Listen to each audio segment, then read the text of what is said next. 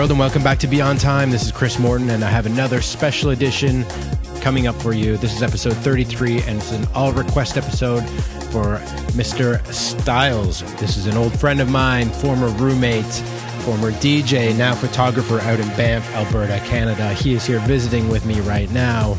Hey Robbie, how you doing, buddy? It's been a long time. Thanks for being here with me. I met Robbie a long time ago. He sold me a record back in 2005 before I moved to Australia, and we've been friends since. So we're pretty much brothers at this point. And so what I did is I gave him a list of about 200 songs in my playlist.